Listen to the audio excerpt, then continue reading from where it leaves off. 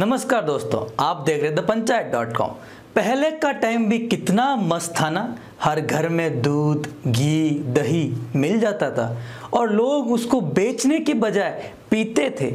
यही वजह भी रही कि पहले वाले लोगों के शरीर भी आज के मुकाबले काफ़ी तगड़े हुआ करते थे। लेकिन समय बदला और धीरे धीरे लोगों की सोच भी बदलती चली गई। जिस दूध दही को लोग बेचना अशुभ समझते थे, उसको धड़ल्ले से बेचना शुरू कर दिया। और बस तभी से शुरू हो गया मिलावट का गोरख धंधा। मिलावट के इस धंधे से लोग बीमार हुए, लेकिन बेचने वाले करोड़पति बनते चले गए। एक ऐसा ही मामला सामने आया मध्य प्रदेश के मुरैना ज़िले के डकपुरा से दो भाई मिलावटी दूध और उससे बनने वाली चीज़ों को महँगे दाम में बेचकर करोड़पति बन गए।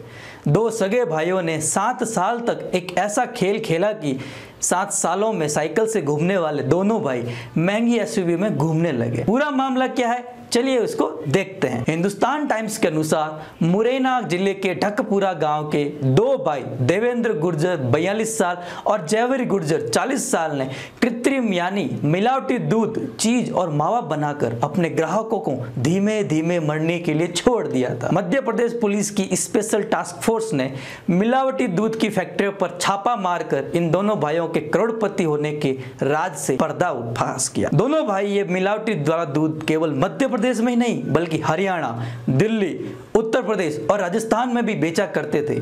मिलावटी दूध के निर्माण में glucose, urea, refined oil, milk powder और पानी के साथ साथ कुछ केमिकल्स जैसे हाइड्रोजन परऑक्साइड लगते हैं।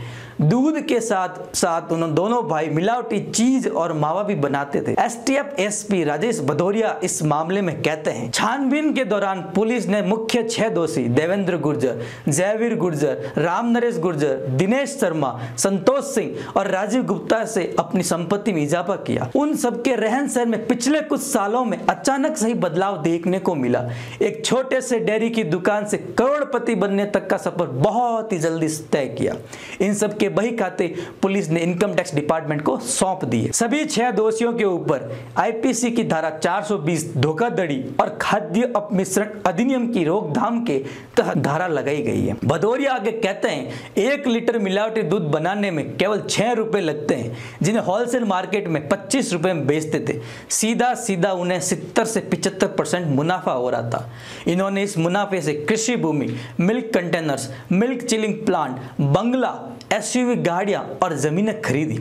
चंबल के अंदर मध्य प्रदेश दुग्ध संघ ने 200 दुग्ध सहकारी समिति को बैन कर दिया। एसटीएफ के अतिरिक्त महानिदेशक अशोक अवस्थी का कहना है कि चंबल के अंदर हर रोज दूध का उत्पादन 11 लाख लीटर है, लेकिन हमेशा 30 लाख लीटर दूध की आपूर्ति होती है। यह 19 लाख लीटर दूध मिलावटी दूध है, जो कैंसर जैसी बीमारी बढ़ाती है। मुख्यमंत्री कमलनाथ ने कहा कि जल्दी से जल्दी गैर कानूनी तरीके से दूध उत्पादन को रोका जाए। स्वास्थ्य मंत्रालय बावन ज़िले में मिलावटी दूध की जानकारी देने के लिए हेल्पलाइन नंबर जारी करें। लोगों की ज़िंदगी से खेलने का हक किसी को भी नहीं है। मुनाफे के चक्कर में आप किसी की ज़िंदगी खतरे में नहीं डाल सकते। जो खिलवाड़ करते हैं, उनके खिलाफ सही तरीके से कानूनी कार्रवाई होनी चाहिए। आप इस मामले में क्या सोचते हैं, हमें कमेंट बॉक्स में ज़रूर बताएँ। अगर आपको हमारे पंचायत की पंचायती पसंद आ रही है तो हमारे फेसबुक पेज को लाइक और यूट्यूब चैनल को सब्सक्राइब करें। कैमरामैन भरत के साथ मैं सौरभ, आपसे अलविदा लेता हूँ। धन्यवाद।